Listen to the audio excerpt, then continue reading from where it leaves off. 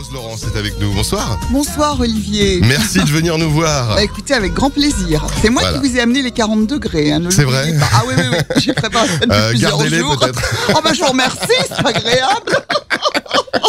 En tout cas, merci beaucoup de venir nous voir avec euh, ce nouvel album, donc ADN. Oui, oui. 40 degrés dehors, voilà, on est bien là. Ah écoutez, qu'est-ce qu'on est bien chez vous. Euh, oui, oui, oui. J'ai l'intention d'y rester un certain temps d'ailleurs. Ah, ne vous, plus. repartez pas, on, Non, non, non. on va refaire toute votre carrière, alors comme ça on est parti. Oh, huit jours au moins. 8 jours en moins? Bon, bah, ceci dit, moi je suis en vacances demain, mince. Ah zut, Je vais pas pouvoir rester avec vous. vous partirez pas, alors tant pis. Tant pis, je ne partirai pas. Euh, un nouvel album, une rencontre, euh, c'est ce qu'on lit d'ailleurs. Sans cette rencontre, cet album aurait peut-être pas existé. C'est Pierre Palmade Oui, euh, c'est vrai. qui, qui vrai, vous a oui. apporté des textes et, et qui vous a. Alors je sais pas, c'est, je sais pas si le mot est, peut se dire remettre le pied à l'étrier, donner, redonner envie de faire autre chose. Non, non, non, il m'a pas redonné envie. En fait, euh, il va être content. Bah non, il m'a pas tout redonné Non, envie. du tout, du tout. non, non, non, non, on va dire que c'est- pas tellement dans ce sens-là. C'est que moi, envie, j'ai toujours eu envie de, de faire mon métier. Bon, il y a eu des, des coupures, des cassures, ok, très bien. Non, la seule chose, c'est que j'attendais. Euh, j'attendais une rencontre. Bah, j'ai- J'ai toujours eu le bonheur de travailler euh, à travers des, des, des belles rencontres. Il y a eu Goldman, Cabrel, euh, Il y en a Louis plein, hein. Chédid, Sanson, Berger. euh, oui, mais ça c'était C'était bien, avant. Mais bon, c'est quand même des belles rencontres, ah, mais quoi bien sûr. Non, non, c'est vrai que j'ai eu le- la chance de rencontrer des gens magnifiques. Et dans ma première vie, euh, j'ai travaillé d'une manière très artisanale avec euh, ma petite équipe, mon mari qui était mon compositeur. Et, euh, et, et- et il s'était passé des choses absolument euh, sublimes artistiquement et humainement. Et euh, après avoir arrêté un certain temps de faire mon métier, euh, je me suis dit que tant que je ne retrouverais pas euh, une rencontre qui me, qui me, qui me fascine ou qui m'étonne, j'attendais, voilà, j'attendais quelque chose euh, d'inattendu. Et alors, cette chose s'appelle Pierre s'appelle Palmade. Pierre Palmade. On va continuer, c'est le jour, c'est parce qu'il fait chaud. Voilà, donc non, non, non c'est vrai que le destin a fait que j'ai rencontré, voilà, j'ai eu une autre belle rencontre, et cette rencontre s'appelle Pierre Palmade, et puis euh, on se connaissait pas du tout, moi je, je l'aimais énormément, j'étais très fan de tout ce qu'il avait fait, alors comme vous le savez, pour la rock, Robin lui-même, sûr, euh, oui. euh, voilà, des scénarios de films. Moi, j'adorais ce qu'il faisait. Mais si on m'avait dit qu'un jour il allait écrire mon prochain album, ça, franchement, euh, je l'aurais pas cru.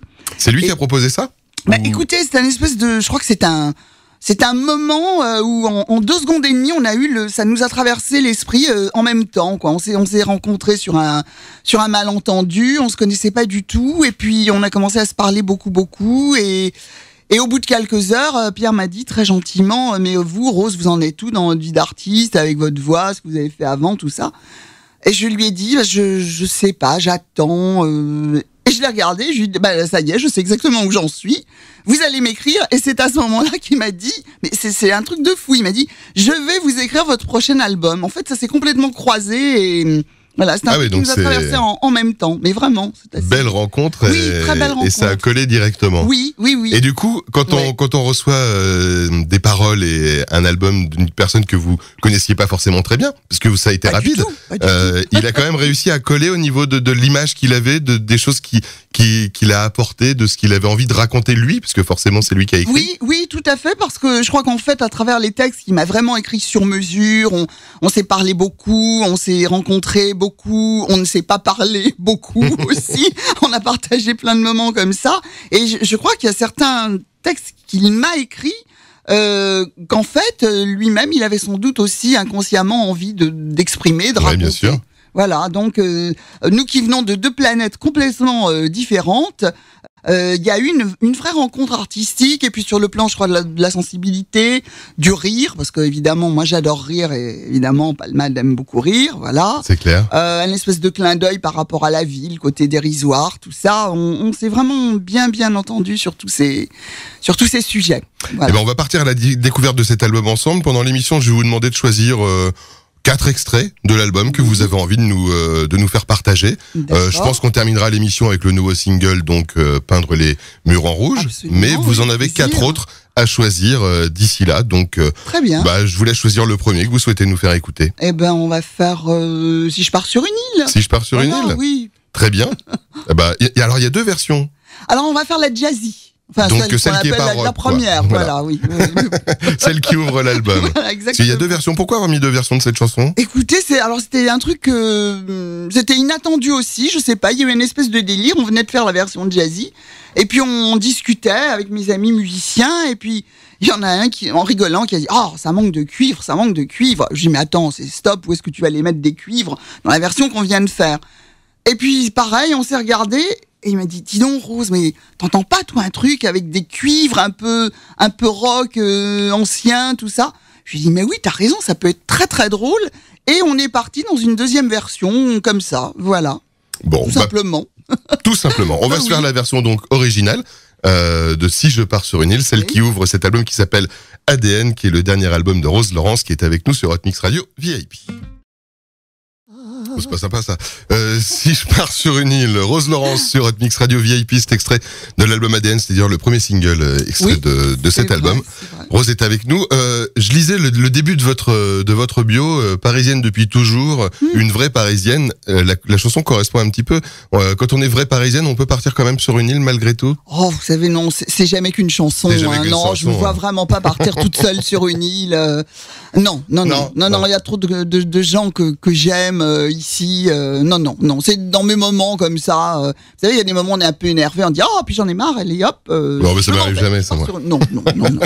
non, non, puis c'est pas du tout, ça correspond pas du tout à mon tempérament. non, non, vraiment pas. On parlait de la rencontre avec Pierre Palmade. Oui. En, en regardant le ce que votre parcours et tout ce que vous avez fait, on a quand même le sentiment que toute votre carrière est, est liée à des rencontres Euh, Enfin, en tout cas, en grande oui, partie, oui, oui, c'est c'est et vrai. qui vont relativement vite quand on prend le- vrai, l'exemple de. Alors c'est très très loin de Fantine, etc. Mais des choses qui d'un seul coup s'accélèrent. euh, Oui, à travers euh, une rencontre. Oui, oui, c'est vrai finalement. Le, enfin, ma carrière entre guillemets, euh, ma vie d'artiste est, est jalonnée de, de de sublimes rencontres. Alors là, oui, pour le coup, euh, oui, oui, j'ai- croisé des des, des gens euh, déjà qui me faisaient rêver. Hein, J'aurais jamais pensé qu'un jour euh, Cabrel m'écrirait. euh, j'ai été la première femme, je suis très fière, pour qui Cabrel a écrit un Ah oui, texte. Mais oui, il je avait savais jamais pas. écrit avant.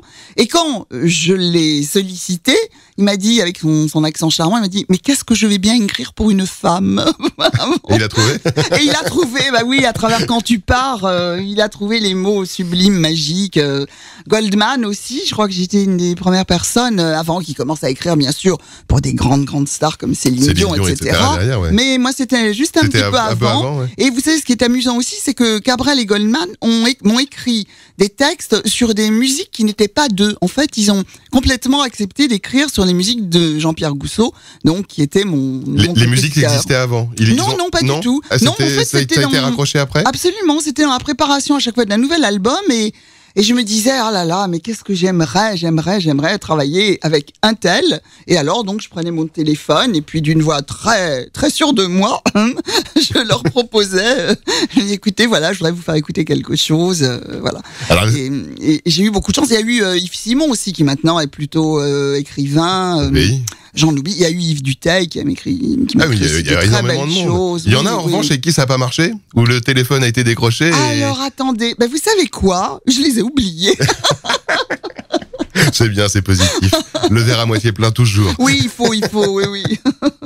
Euh, sur cet album, on disait tout à l'heure que Pierre Palmade avait écrit des textes qui finalement euh, correspondaient bien, ou en tout cas vous avez bien cerné. euh, Dans Complètement. Il y, a, combien- il y a oui. des- il y a des sujets qui- qu'il a abordés où, quand vous avez reçu le texte, vous êtes dit, oh là là, tiens, c'est marrant, je me, je me serais peut-être jamais senti elle est là-dedans. Alors ou- écoutez, alors d'abord, je n'ai jamais reçu les textes. C'est-à-dire qu'ils me les donnaient, car on travaillait des après-midi et des soirées et des nuits Donc, ah ensemble. C'était vraiment un Ah travail. oui, non, non, vraiment. Ça- non, non, c'est vrai que ça a été. euh, Bon, c'est du sur-mesure. Bon, j'insiste parce que c'est une grande chance. euh, vous voyez, bah effectivement, oui, il aurait pu m'envoyer quelques textes comme ça. Sinon, c'est pas Ah du non, tout là, comme ça que ça a fonctionné. euh, Non, non. On a vraiment. Il y a eu un, un vrai dialogue. où On se racontait des choses sérieuses, pas sérieuses, débiles, intelligentes. Enfin, on est passé par toutes les couleurs de l'arc-en-ciel. Mais euh, non, et, et- et à chaque fois que, que, que Pierre m'a m'a écrit un texte, et le premier qui m'a écrit, alors c'était un des titres de mon album qui s'appelle Je valse seul, j'ai été presque tétanisée par la, la, la vérité, euh, la, la force et l'exactitude de la sensibilité. Et à chaque fois que qu'un texte était fini, ça me faisait toujours le même effet, vous voyez. ouais. Donc il y a eu ça, ADN. Euh, alors à ADN, euh, c'est vrai que j'aurais pas pensé euh, chanter un texte qui parle d'Aléane de cette manière-là. Mais hum, c'est vrai que ça peut correspondre à, à Pierre aussi euh, quelque part. Là, c'était des choses qui nous correspondaient plutôt à tous les deux. Si Dieu était une femme, alors pour moi, c'est un espèce de euh, comment dire, de, de travail de, de, de style d'auteur que, que j'adore parce que je trouve que chaque mot euh, se marie tellement bien avec euh, la musique. Je- je- J'adore, euh, j'adore ce Il texte. y, il y a des histoires de, de couples très connus dans cette chanson-là. Oui, oui, oui, oui, Euh, absolument. c'est- un délire, hein, il n'y a pas de message particulier. Non, non, non, non, je y a- cherchais pas le message, oui, mais c'est des, des, des, couples qui, euh, Oui, qui vous marquaient tous les deux, enfin qui oui, vous aviez oui, tous les deux oui, un attachement oui, à ça. Oui, oui, tout à fait. Et d'ailleurs, on parle de certains couples qui, en fait, euh, ne se sont pas tant aimés que ça. Hein, euh, Oui, oui, euh, voilà, qui se sont bien cocuifiés les uns les autres. Moi, je veux pas le savoir, je ne veux pas le savoir. Non, mais après, quand on y pense, parce que quelquefois, c'est on a des images de, de couples, on se dit, oh là là, ça devait être beau. Bah, pff, Ah oui, ça arrive, ça. Le couple, le couple extraordinaire, on pense que tout est, tout est nickel, Oui, et puis finalement, euh, oui, on se rend compte oui, qu'au bout d'un moment, ouais. Sartre et de Beauvoir, par exemple, on en parle, hein, très humblement. bon, oui, oui, ils se sont aimés, bien sûr. Voilà. Restons là-dessus. Moi, je vous propose qu'on en écoute. On, on en écoute une des deux. On vient de parler d'ADN ou de Si Dieu était une femme. On écoute laquelle en premier? On va écouter les deux. Oui, Mais, euh, alors, mais, euh, eh ben, dans quel ordre? euh, allez, ADN. ADN Oui. Allez, très bien. Donc, Rose Laurence, choisi par Rose Laurence sur Hot Mix Radio. VIP, c'est extrait de l'album ADN et c'est le titre éponyme ADN. ADN, c'est le titre de l'album de Rose Laurence. C'est également le titre de ce morceau que vous venez de choisir pour nous. Oui. Extrait de l'album sur Hot Mix Radio. VIP. Euh, on parlait des, des rencontres. euh, Après, les chansons existent. Il y a l'album. oui, Et après, j'imagine qu'on a envie de s'exprimer sur scène Ah avec, euh, avec tout ça. Ah oui, oui, oui, oui. Ah oui, c'est. euh, D'ailleurs, quand on a fait l'album, euh, on y pensait déjà parce que bon, euh, chaque chanson euh, raconte bien sûr une petite histoire, enfin comme dans la plupart des albums. Mais euh, c'est vrai qu'on on, on- imaginait très bien les chansons sur scène. Et c'est vrai que du coup, euh, bon, je vais, je vais vraiment avoir le, le, le bonheur. C'est un bonheur d'être euh, sur la scène de l'Européen à partir du 17 novembre. Ah, je suis ça, c'est vraiment génial. très heureuse. La, ouais. la taille de la salle, ça, c'est, ça Ah, fait un- c'est bien, ça, il y a le c'est petit côté intimiste, etc. Voilà, ça va être euh, chaleureux, Ça va être ça va parfait. être, euh, euh, plein, plein, de- plein de gens que j'aime et qui m'aiment, j'espère. On- Il va y avoir un joli moment de partage avec euh, beaucoup de, géné- de générosité, de simplicité, tout ce que j'aime. Et quoi, vous avez voilà. imaginé le, le- comment dire, la, les, les- au niveau des musiciens, etc. C'est une Oui. petite euh, formation. Oh, euh, aura quelques musiciens, oui, oui, oui, c'est oui, 4-5 oui, oui. en tout, quoi. Euh, ouais, oui, Hein, un truc comme ça, oui, ou oui. Ils géreront peut-être pas tout le temps ensemble, mais non, non, non, mais je crois que, enfin, on va, on va tout faire en tout cas pour que ce soit un, un joli moment, étant donné que ça fait un certain temps que j'ai rien fait euh, à Paris, donc. euh, Bah ouais, ouais, ça doit être. ça, me euh, ça doit être- on doit attendre ça avec impatience. Ah oui, alors oui, oui, oui. Ouais, en plus, musicalement, je pense que la- l'album s'y prête, s'y prête pas mal. Complètement, oui, ah oui, vraiment, oui. Je crois qu'on va pouvoir faire plein de jolies choses et puis euh, interpréter aussi euh, certaines de mes anciennes chansons, c'est très important. Bah, il faut, euh, c'est obligé. é- Évidemment, non, puis de toute façon, pas- ça aussi c'est du bonheur. Hein, euh, Bah, j'imagine, voilà. j'espère. Bah, bien sûr. Moi, je suis assez surpris d'ailleurs de temps en temps quand on entend certains. Enfin, c'est très, rare, mais ça arrive quand même certains artistes qui, qui, qui ont une espèce qui, Qui renient quelque peu, peu. des Ah, trucs. Moi, je trouve ça, je trouve ça Bah assez. non, vous vous rendez compte, c'est à, ouais. à travers ces chansons-là qu'on a le- la chance d'exister. Bah donc, oui, oui, euh, clair. Non, non, non, ça fait partie intégrante, c'est la famille, quoi. Alors pour ceux Ah. qui voudraient pas attendre le mois de novembre, vous serez samedi soir à Bourgoin-Jallieu. Euh, Il y a un, Oui, un fait, festival fait, de Tonic. Radio, on va, on va assumer, hein. Oui, oui, Euh, oui, le Stella. Tonic Live, donc euh, vous serez sur cette scène-là. Oui, avec Et plein le- d'autres artistes. Voilà, avec plein d'autres. Et le 8 juillet, pareil, euh, Oui. Jean-Lépin. Oui, c'est ça, c'est pour une, une grande une grande œuvre pour les enfants euh, malades, voilà, pour qu'ils Et dans, dans, dans, ces cas-là, vous, vous chantez votre album ou on, on vous demande quand même de chanter Africa pour, ah, je vais pour mettre la chanter pêche Africa, bien obligé, sûr. ouais. Ah oui, oui, oui, mais il faut Africa. Ouais, bien sûr. Africa, tout a commencé pour moi avec Africa et tout terminera avec. Moi, j'ai acheté le Maxi 45 tours. C'est un des premiers Maxi 47 tours que j'ai acheté, euh, Africa. Et bien sûr, indépendamment d'Africa, Pardon. je vais chanter mes nouvelles chansons. Oui, Évidemment. mais non, mais c'est pour ça que je Oui. disais, c'est ce que je. il Y a, Ah il y a- non, non, mais de toute façon, l'un ne va pas sans l'autre. c'est pas possible. Africa, d'accord. euh, voilà, c'est. non, mais voilà, c'est- comme moi, quand j'ai commencé l'émission, j'ai mis Africa parce que Mais oui, mais oui, mais on peut pas euh, vous Mais accueillir sans mettre cette chanson. avant Africa, je n'étais rien. Après Africa, pas grand chose, mais un peu mieux quand même. Donc, non, non, Africa, c'est très important. Toute ma vie d'artiste a démarré avec Africa. Bah, juste deux secondes sur, sur cette chanson-là, parce que quand on regarde l'histoire de cette chanson, euh, moi j'avais même pas fait gaffe. Moi, comme je disais là, il y a deux secondes, c'est un des premiers Maxi 45 tours que j'ai acheté, Oui. euh, avec l'espèce d'oiseau flarnache là. Je me rappelle Ah, très bien oui. de, du- Oh, de la J'avais une rondelle. sacrée mémoire. Je m'en Ah, souvenais même plus, moi, de ça. Et, euh, et en fait, vous l'avez chanté dans, en anglais et ça, ça a Oui. été numéro un un peu Bah, partout. oui, en fait, c'est un album au départ. Et puis, dans cet album, euh, nous, pour tout vous dire, on voulait sortir un autre titre. Voilà, Ouais. L'album s'appelait Déraisonnable. On avait un autre titre qu'on adorait. Et puis, pour une fois, euh, notre producteur euh, n'a pas eu tout à fait tort. Et il nous a dit non, non, alors vous, continuez à hein. faire de la musique. Euh, oui, après, ça s'est corsé. Mais euh, il m'a dit, et moi, je m'occupe de. Et quand il a entendu Africa, il m'a dit, mais vous vous rendez pas compte, mais, mais tout le monde va danser là-dessus, mais on, c'est énorme. Et nous, on s'est regardé parce que moi, je considérais que c'était une, une chanson adorable qui, me- qui me donnait beaucoup de joie quand je la chantais, mais, mais de là à ce que, évidemment, il se passe ce qui s'est passé, on n'aurait jamais pu imaginer. Et Jean-Pierre Gousseau, encore moins, franchement. Et puis, euh, lorsqu'elle est sortie et que ça a été tellement vite, on s'est retrouvé numéro un en, en France, mais du jour au lendemain. Et là, on a eu des demandes euh, des Allemands, des Espagnols, euh, des pays scandinaves. Enfin, il s'est passé des trucs incroyables. Et on nous a dit, vous pouvez la chanter en anglais. Alors, comme je savais un peu chanter en anglais, on a tout de suite fait la version anglaise. Et c'est vrai qu'on s'est retrouvé numéro un en Allemagne, en Espagne. Enfin, on a fait toute l'Europe comme ça. euh, Mais ça devait être hallucinant à cette période-là, parce qu'aujourd'hui, à la limite, ça peut peut-être aller très vite avec Internet, etc. Oui. On peut se retrouver facilement à être entendu euh, de partout. Oui, Là, on est quand oui. même sur une autre, Ah une oui. autre façon de voir les choses. Là, c'est une vraie exportation. Ah quoi. oui, ah oui, oui, c'était un vrai travail, c'était Voilà, ouais. oui, une, comme vous dites, une vraie exportation. Ce qui fait que quand j'ai commencé à faire mes premières télés en Allemagne, c'était incroyable, quoi, parce que vous savez, on dit nul n'est prophète en son pays. Ouais. C'est vrai que moi, une des premières fois où je suis arrivée, j'ai eu l'impression d'être Madonna, quoi. Je dis mais qu'est-ce qui se passe? Ils sont fous, quoi. Enfin, voilà, des, des, des bouquets de fleurs à la descente de l'avion, des photographes partout. Et alors là où c'était très drôle, c'est que il y avait plusieurs euh, plusieurs journalistes qui m'ont regardé d'un air bizarre. Je me suis dit, mais qu'est-ce qui se passe? Pourquoi ils me regardent comme ça? Et il y en a plusieurs qui m'ont dit, écoutez, euh, avec le genre de voix que vous avez, nous on a pensé que vous étiez noir. Alors j'ai dit, ah bon? J'ai En même temps, je l'ai pris Bah pour oui, un mal, compliment, bah oui, hein, parce sûr. que on sait que les, les, les voix noires sont, sont sublimes souvent Puissant. puissante, sublime. Et, et donc, il y a eu cette espèce de petit malentendu comme ça au début, qui était assez drôle d'ailleurs.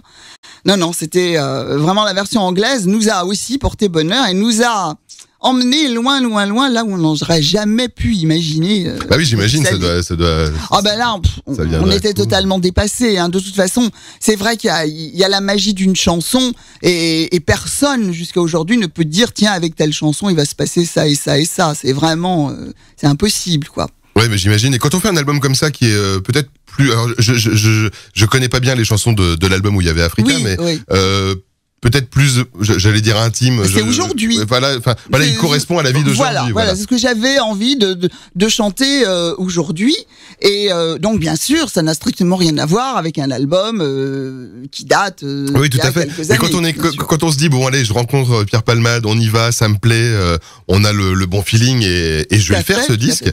On, quand on a vécu euh, une aventure comme celle d'Africa, Oui. est-ce qu'on a quand même malgré tout euh, même si on a envie de le mettre euh, de côté, cette idée de se dire, et si ça recommençait, ou est-ce qu'on y pense Non. Mais pas du tout. Ah non, alors tout. sincèrement, à aucun moment. Aucun moment. Non, non, j'avais juste envie de faire quelque chose aujourd'hui qui soit le plus beau possible, je l'espère en tout cas, qui me ressemble le plus et, euh, et, et que ça se passe vraiment aujourd'hui. J'avais envie de faire un album en 2015, mais à aucun moment il n'y a aucune référence. Non, parce que je, je crois qu'un un artiste, il n'a pas tout le temps à se retourner derrière lui et à Oui, oui, penser mais après, ce on- qu'il a fait. Je crois que c'est important, c'est de, il y a un chemin et de continuer le, chemin, d'essayer d'évoluer, de faire des choses différentes. Enfin, en tout cas, c'est ce que c'est ce que je pense. Voilà, ce que vous dites, je suis impatiente de partager la suite avec vous. tout à fait. Oui, oui, tout à fait. à l'argumentaire de- Oui, oui. Bah déjà le de 17 l'album. novembre, ça Ah, va là, être ça- un là, moment ça sera la vraie Ah oui, là. oui, ça, ça va être super. C'est l'étape ultime. Toutes les choses qui arrivent. Sur la vie de l'album. les- Enfin, plein de choses. Donc, euh, non, non. Euh, je vous propose qu'on écoute euh, Si Dieu était une femme. Oui, absolument. Quelques mots sur ce morceau avant de l'écouter? Écoutez, c'est c'est un, un exercice de, de style, euh, voilà, euh, très réussi. Euh, Pierre a écrit un texte absolument magnifique. Et alors, euh, cette musique-là, bon, on a travaillé avec euh, François Bernem, qui est venu rejoindre notre petite famille, avec Eric Dimicoli, qui est quelqu'un de, de jeune, de nouveau, avec Nicolas Medec. Enfin, tout ça, ce sont des, des gens, des compositeurs nouveaux. Et, euh, et, et par contre, euh, si Dieu était une femme, euh, c'est une musique que j'avais gardée de, de Jean-Pierre Gousseau, mon mari. Et quand je l'ai fait écouter à Pierre, je lui ai donné aucun détail. Je lui ai dit qu'est-ce que tu penses de cette musique? Il m'a dit mais c'est quoi ça? Et là, je lui ai dit écoute, c'est une musique que j'avais gardée, que je trouvais sublime. Et je, je m'étais dit que si un jour j'avais enfin le bonheur de refaire un album, je voudrais absolument qu'elle fasse partie de, de, mon nouvel album. Et, euh, et donc, euh, voilà, Pierre a commencé à, à, écrire des mots, des choses, des... et j'ai trouvé ça euh, magnifique. On est parti dans cette espèce de, de, délire. Il y a des moments, ça veut rien dire, mais on s'en fiche. Voilà. L'important, c'est que c'est qu'il y ait le, le petit frisson ou, ou pas, quoi. Voilà. Bon, on va, on va voir si les si vous avez le frisson. Je, attention, je vérifie. Vérifions tout de suite. Donc, si Dieu était une femme, c'est Rose Laurence, cet extrait de l'album ADN et c'est sur Hot Mix Radio VIP. Et si Dieu était une femme, Rose Laurence sur Mix Radio VIP. Euh, ça fait quoi d'écouter ces chansons comme ça euh... ouais, c'est... Vous chantiez pendant toute la chanson Oui, oui, c'est Donc oui, on, on sent l'envie du concert. Oui, oui, oui, c'est oui, oui, oui, grande envie. Euh, bah, c'est toujours, bah, déjà, c'est toujours euh, magique de tenir dans la main euh, l'album, l'objet, voilà, euh, dont on rêvait. Euh, ça a pris un certain temps pour le faire, tout ça. Donc c'est toujours, oui, c'est. Moi, j'ai toujours un petit peu de mal à, à réaliser. Hein. Quelquefois, j'ai l'impression d'être schizophrène. J'ai des doublements. Je dis, mais est-ce que c'est vraiment mon album? Est-ce que c'est vraiment mes chansons, Bonne les question. musiciens? Est-ce vraiment? Est-ce vraiment mon album d'ailleurs? Oui, pas, ça l'est. Celui-là, je le revendique vraiment haut et fort. Oui, oui. Euh, vous parliez d'un certain temps pour le faire. Ça, la, la, rencontre, on a bien compris que ça a été très rapide euh, entre le moment où vous êtes rencontré avec euh, Pierre Palmade et le moment où vous avez commencé à travailler et que vous vous êtes dit c'est Oui. bon, ça colle. C'est vrai. Euh, et vrai. une fois que ce travail était fait, Ah, mais après, on a pris notre temps. après ça, Ah ça- oui, là oh ça a oui, été. euh, Oh oui, écoutez, au, au moins deux ans, voire Ah plus. oui, quand même. Ah oui, oui, non, vraiment, vraiment. Oui, oui, Ah mais d'accord. c'était assez pesant en fait. Et puis alors, euh, si vous voulez, bon, bon, moi je suis une saltimbanque euh, libre, je suis une artiste libre, donc j'ai tout assumé. Voilà, euh, j'ai choisi les gens avec qui je voulais travailler, les musiciens, les voilà. Au niveau des arrangements, bien sûr, j'ai travaillé avec des gens extrêmement talentueux, compétents, doués, mais je savais exactement ce que je voulais, ce que je voulais pas. Donc c'était quand même un, un- un vrai gros gros travail. J'étais On- responsable de tout. On a la petite inquiétude de se dire je le fais, je le fais pas. Enfin, jusqu'au dernier moment ou une Ah, fois qu'une fois. Ah, non, non, on a envie, non, On non, va, on a ouais. tellement envie de le faire que rien ne peut nous arrêter. En fait. Ça, ça, ça co- coïncide avec ce que j'ai regardé un petit peu sur les tournées euh, Star 80. Vous avez Oui. fait le début puis vous avez arrêté. Oui, hein, moi j'ai fait ça euh, pendant deux ans, euh, il y a quelques dit années. Mais non, c'est pas ça, c'est que justement c'est à ce moment-là que j'ai eu- rencontré ah Pierre bah voilà. Palmade. Et là on s'est Et vous êtes là, dit, je euh, me suis dit, bon, c'est fabuleux parce que je vais pouvoir continuer ma vie d'artiste. Voilà. Euh, juste deux mots parce que c'est vrai que c'est on ne reçoit pas tous les jours des artistes qui ont fait cette tournée. C'est quand même un, Oui. un, un succès. euh, Ah bah c'est énorme. extraordinaire, mais mais en fait ça s'explique. Hein. Les gens sont euh, bon, on sait très bien que les années 80, euh, en ce qui concerne toutes les chansons, et pas uniquement en France, hein, dans tous les pays, ça a été. Bon, Il y a eu des, des chansons fabuleuses. En France, il y a eu des, des, des titres énormes, bien sûr, et c'est vrai que le, le, le public est, est très heureux de, de réécouter, de retrouver les gens qui ont chanté ces chansons, parce que c'était encore une période, euh, on, on va dire douce. Bon, bien sûr, il se passait déjà des choses un peu difficiles, mais, mais moins, moins Ouais, qu'actuellement. Et euh, voilà, ça, ça représente une petite forme de, de douceur, de sécurité, et puis sans doute plein, plein de, de beaux souvenirs, hein, parce que les gens, quand ils venaient nous parler, ils nous disaient ah là là, j'ai rencontré un tel sur votre chanson, euh, j'ai fait ci, j'ai fait ça. Donc ce succès s'explique pleinement. Et puis il y avait plein de chansons formidables, quoi, à cette époque. J'imagine aussi que c'est l'occasion de rencontrer un public vachement plus jeune parce que quand on, Ah oui, quand on regarde aujourd'hui des gens qui ont 20 ans, c'est des musiques qui sont des vrais Ah bah, hits les, pour cette ils les connaissent par cœur. Ils les connaissent par simple, cœur. Donc par ça, ça doit être aussi intéressant de quand, c'est drôle, quand on se retrouve face à ce public-là, parce que des gens qui ont une quarantaine d'années, bon bah, C'est normal. Voilà. Mais c'est ça qui a été très surprenant, c'est que quand on a démarré, alors la première, euh, la première tournée, euh, on est arrivé euh, à Toulouse, à Lyon, enfin je sais plus où encore. Et alors c'était mais que des gens entre 15, 17, 18, 19, 20 ans. On s'attendait, bien sûr, bien, bien sûr qu'il y avait des gens plus plus, plus âgés. vieux, ouais. mais c'était incroyable. Ils, connaissaient les chansons, mais sur le bout des doigts, c'était très très étonnant. Alors c'est vrai que ça fait plaisir. Bah oui, j'imagine. Mm. Et c'est des gens qui, euh, avec euh, tout ce qui est Facebook, etc., euh, sont peut-être plus justement euh, comment dire, elle l'utilise plus plus facilement. Oui, bah oui, oui, oui, que moi j'adore. hein. Moi j'ai euh. mon Facebook et je, je communique sans arrêt avec euh, tous mes amis. voilà, parce que j'ai plein d'amis. Mais c'est bien. non, non, mais c'est non, non, c'est- c'est c'est très agréable. Voilà, on a plein de choses à, à se raconter, à partager. euh. Non, non, j'aime beaucoup. Stromae choisi par euh, Rose Laurence qui est avec nous en direct sur Hot Mix Radio VIP. C'était Ave euh, Césaria, euh, très grand homme de, de scène, Stromae au-delà des textes, Oh etc. là, bien sûr. Euh, vous, vous, on, on parlait des concerts là qui vont débuter le, le 17 novembre, si j'ai bien noté Oui. l'européen à Paris. oui, le 17 novembre. Euh, justement sur scène, vous aimez bien euh, ce dialogue avec les gens, de- de- de- d'interagir vachement? Ah oui, oui, ouais, oui, oui. on disait- Par moment, hein. alors il Ah, peut y avoir. Euh, voilà, Ouais. peut-être pas tout le temps, parce qu'il faut pas que ça soit systématique. Euh, J'aime bien quand il y a presque un petit côté spontané, pas trop, pas préparé. Enfin, on prépare toujours un petit peu, bien sûr, mais euh, j'aime bien ça.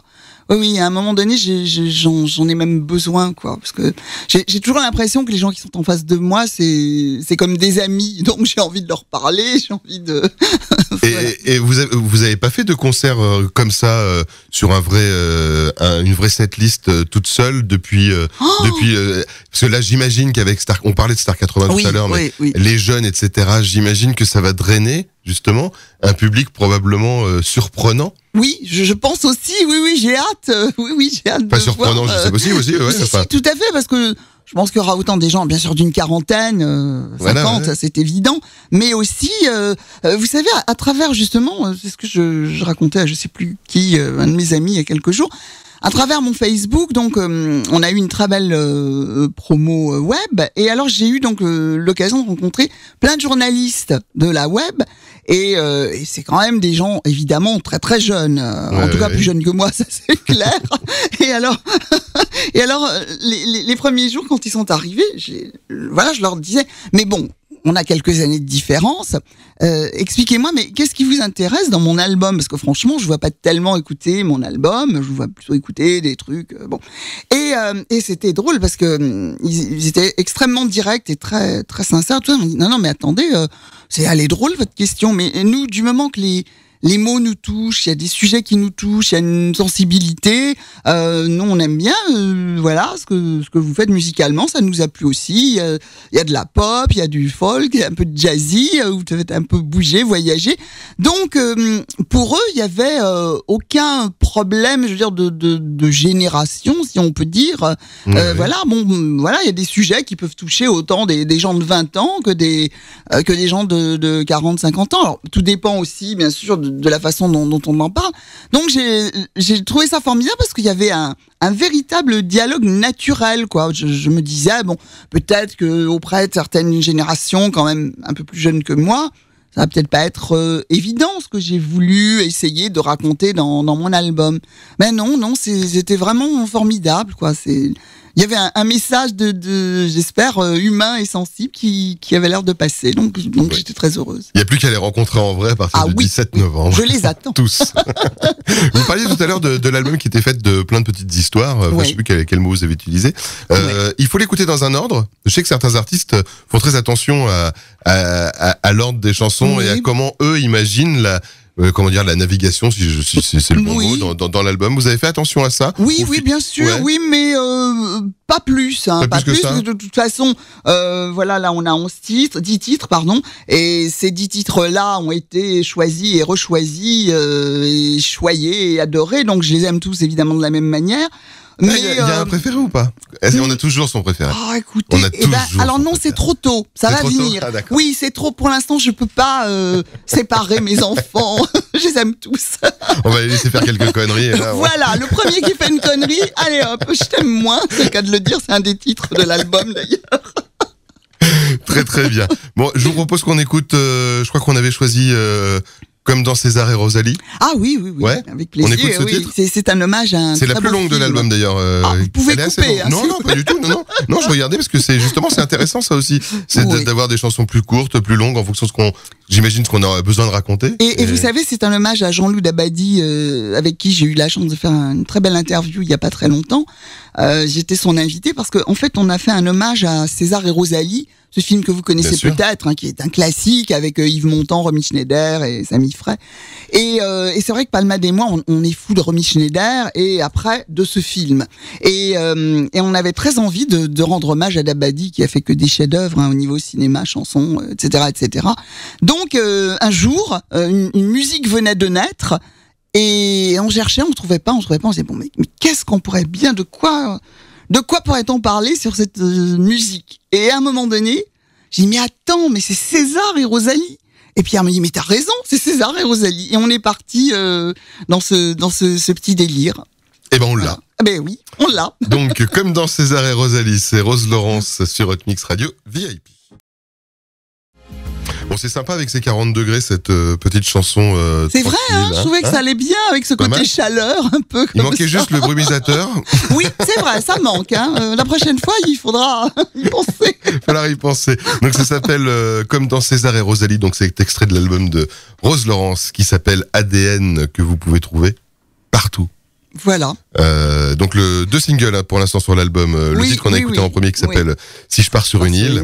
Et puis on va terminer l'émission dans quelques minutes avec Voilà, euh, avec peindre les murs en rouge. peindre les murs. Avec un dessin super joli d'ailleurs que j'ai vu sur Facebook Oui, qui illustre cette cette chanson. oh, ça me fait plaisir parce qu'en fait, c'est un, un jeune dessinateur, alors plutôt BD, hein, et, et on a décidé de, de, de faire des dessins qui soient un petit peu caricaturaux comme Ouais, ça. Je côté ça- Voilà, j'ai trouvé ça très, très marrant. J'aime beaucoup, j'aime beaucoup ce qu'il fait, et il a illustré euh, chacun des textes toutes de, de- oui, oui, Ah ouais. de, de Palmade, oui, oui. Donc ça va être ça va oui. être euh, dévoilé au fur et à mesure. Fabien de son prénom. Voilà. Ouais, il est très très bien. Bah, vous, si vous allez sur le Facebook de, Voilà, de Rose vous oui, allez pouvoir voir ce, ce tous les dessin. dessins de Fabien, oui. Très bien.